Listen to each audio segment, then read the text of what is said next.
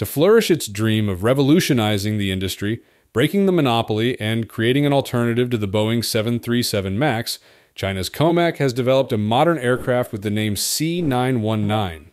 However, sales of this new Chinese aircraft remain low, with only domestic orders and missing international competition. Why no one buys China's aircraft? What does this plane mean for China?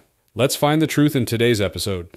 The C919 is a product of the Commercial Aircraft Corporation of China, COMAC for short, a state owned enterprise established in 2008 with the mission not only to reduce China's reliance on foreign aviation technology, but also to challenge the dominance of Boeing and Airbus in the aviation industry.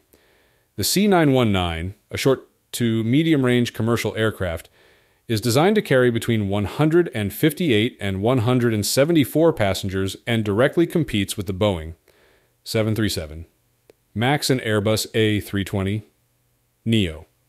It is not to say that China is producing aircraft solely for the domestic market. Historically, and even today, China has always had ambitions to dominate and turn its key technologies into significant competitive factors against Western markets. According to you, why they haven't been sold yet to foreign markets? There could be several reasons for this, which we will analyze further.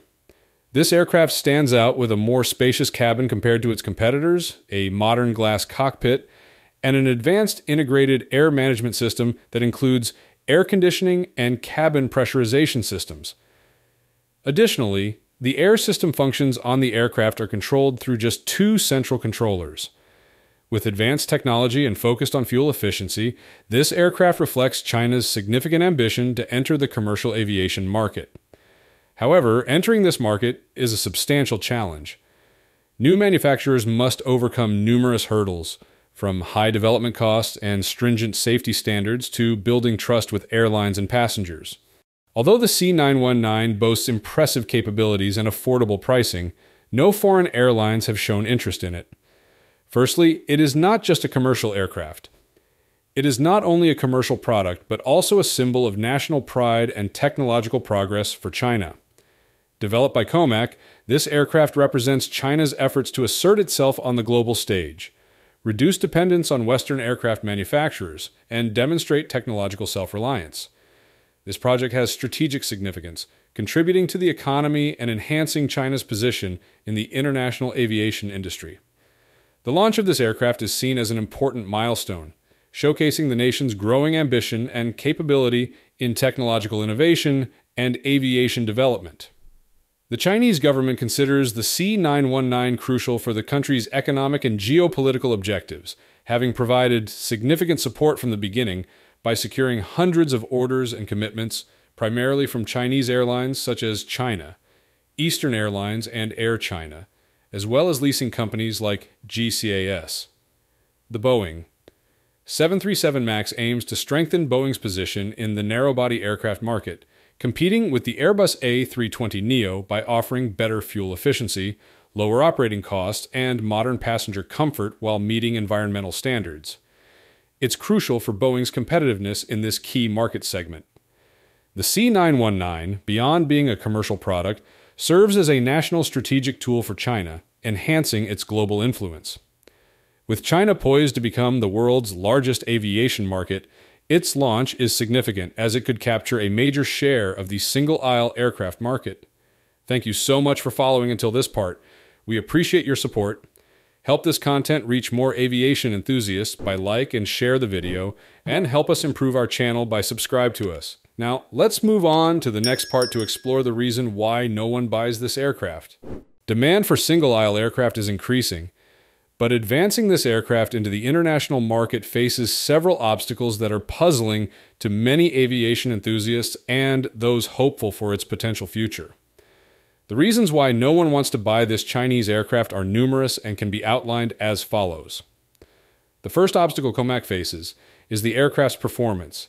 The aircraft has lower performance compared to the Boeing 737 MAX and Airbus A320neo particularly in terms of range and fuel efficiency. With an operational range of about 3,000 nautical miles, the aircraft cannot compete with the two Western rivals on longer flights. Its fuel efficiency is also poorer, estimated to be 5% to 10% higher than the 737 MAX and A320neo, increasing operating costs. Despite being equipped with the modern systems, the C919 still relies heavily on foreign technology. Due to concerns about intellectual property security, many suppliers provide only outdated technology, preventing the aircraft from matching its competitors in terms of advanced technology.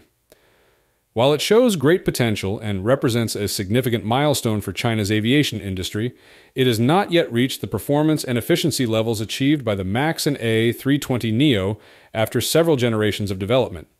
Secondly, its production is still heavily dependent on old technology and parts from Western. This reliance on foreign suppliers not only increases production costs, but also exposes COMAC to geopolitical risks. In an industry where supply chain reliability is crucial, this is a significant disadvantage. Although this company aspires to develop a fully made in China commercial aircraft, the current reality is that a large portion of the C919's components, about 91%, are supplied by foreign companies. Due to concerns about intellectual property security, many Western suppliers have restricted the provision of the latest technologies forcing this company to use older technology for the aircraft. This affects the overall performance of the aircraft, making it difficult to compete with rivals like the Boeing 737 MAX and Airbus A320neo, which use more advanced technologies. The third challenge that China faces is production capacity. Manufacturing a passenger aircraft is an extremely complex task. COMAC's production rate, especially with the C919, is currently very slow. Since production began in 2011, this manufacturer has only completed around 10 C919 aircraft, averaging less than one plane per year. This is very low compared to major manufacturers like Boeing and Airbus, who are producing more than one aircraft per day. Although China has plans to accelerate production, aiming to reach 7 aircraft per year by 2024 and 150 aircraft per year by 2030, achieving this goal remains a significant challenge. The current slow production rate not only reduces the ability to meet market demand, but also affects this manufacturer's competitiveness in the global aviation industry. This doesn't mean that it is incapable of becoming a major competitor in the industry. It simply means that they have to go through a challenging process and learn a lot more before they can officially become a true rival to the powerful giants. Only time will tell whether they can overcome these challenges and become a significant player in the aviation industry. Furthermore, the lack of confidence in the C919 and China's emerging aviation market is a significant challenge. Global airlines are often hesitant to invest in new aircraft from manufacturers without a long standing reputation. To build trust, a new aircraft must demonstrate reliability, safety, and performance through many years of successful operation.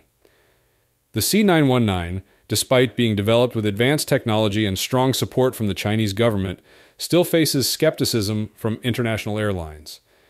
This stems from COMAC's lack of long term experience in commercial aircraft manufacturing and concerns about reliance on foreign technology, as well as the safety certification process. Moreover, in the highly competitive international aviation market, airlines tend to opt for proven products like Boeing and Airbus as they have been tested over multiple generations and have robust global support networks. Therefore, Building trust with international customers is a lengthy process that requires substantial effort. Finally, the after sales service and support network for the aircraft are not as extensive or developed as those of Airbus or Boeing. While these giants have established a strong global service network over the years, China manufacturers' support for the aircraft is still limited and mainly focused on China. This lack of a robust global support system could deter international airlines from purchasing it, as they typically prefer manufacturers with proven worldwide service networks. To compete effectively, COMAC must expand and improve its support services to build trust and meet global customer needs.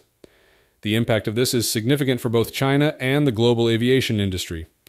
A major hurdle for the C919 in entering the international market is obtaining certification from global aviation authorities.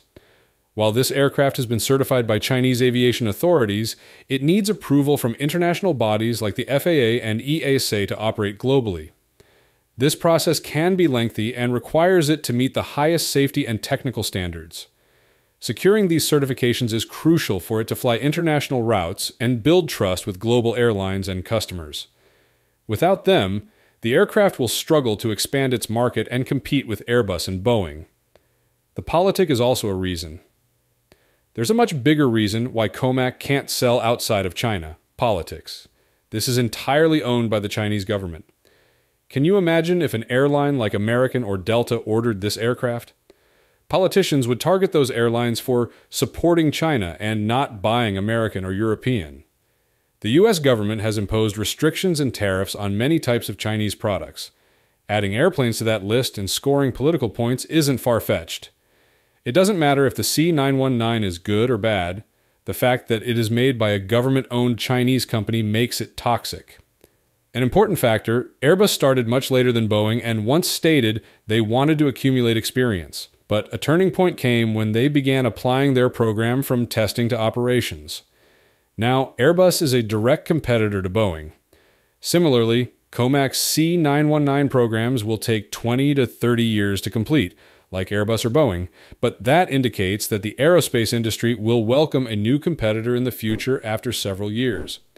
Therefore, Comac's efforts to establish this aircraft manufacturer as a major third competitor are only a matter of time.